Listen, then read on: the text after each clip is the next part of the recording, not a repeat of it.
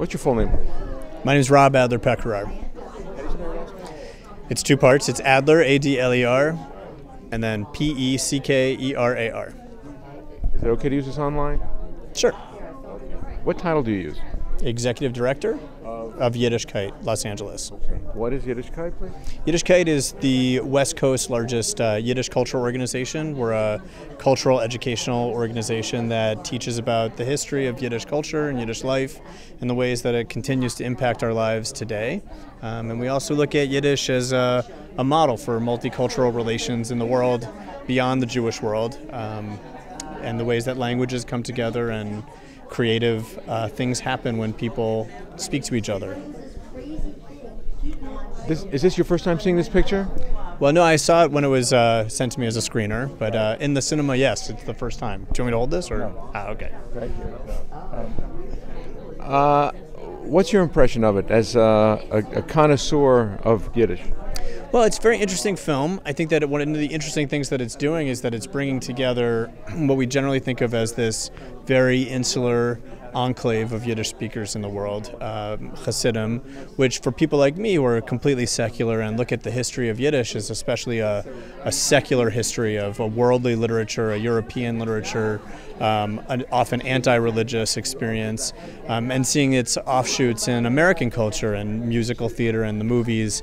Um, it's a very interesting thing to see these two things come together in a film like this, where we have a lot of reference to world cinema and to ethnographic cinema um, and to these kind of character driven stories. And at the same time, it's very much based within this very small um, enclave of Hasidic New York, of Hasidic Borough Park. So it's very interesting to see it happening. Uh, we have a number of uh, Haredi communities here in the Southland. Uh, as a non religious Jew, I would say non observant Jew, what kind of reaction do you get when you talk with them in Yiddish? Well, my general experience is that people are surprised that I know I know Yiddish or I speak Yiddish, and generally that they speak a different Yiddish uh, than I speak, or they assert that they do.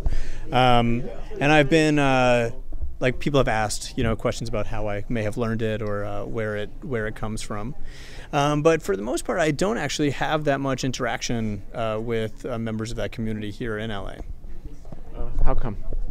Well, it's generally not what I do, uh, and I think that there's actually um, perhaps almost a mutual lack of a mutual disinterest uh, that often uh, I would say uh, that I'm not particularly interested in uh, the religious culture of uh, that's contemporary religious culture, um, and I think that most Hasidic communities are not particularly interested in the long span of Jewish cultural history that happens in Yiddish, from Sholem Aleichem to Mendele to a lot of the kind of um, politically oriented uh, material that comes out of the early part of the 20th century um, and the late 19th century.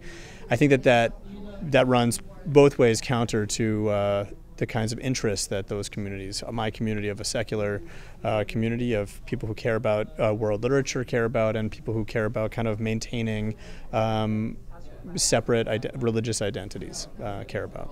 Uh, is this something that you uh, gleaned from your parents or your relatives? W Yiddish? Yeah. No, um, I, I grew up. Uh, Yiddish culture. Yiddish culture was certainly, you know, in the air as an Ashkenazic, uh, you know, person uh, in terms of food and words and hearing grandparents speak to their siblings um, yeah. in Yiddish.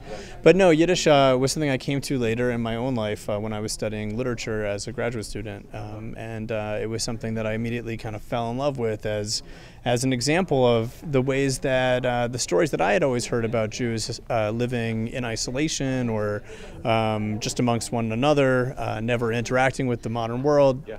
Seemed to be untrue, and that Yiddish kind of gives lie to that. Um, just in the very nature of it being a Germanic language, the fact that people must have been speaking to their neighbors, uh, that Jews interacted with lots of different people, that it, that really touched me in a way that uh, sort of stood aside from the the standard stories or histories of Jewish life that I had grown up with. Okay, okay. So, uh, oh, we have to go. Oh, we gotta go. All right.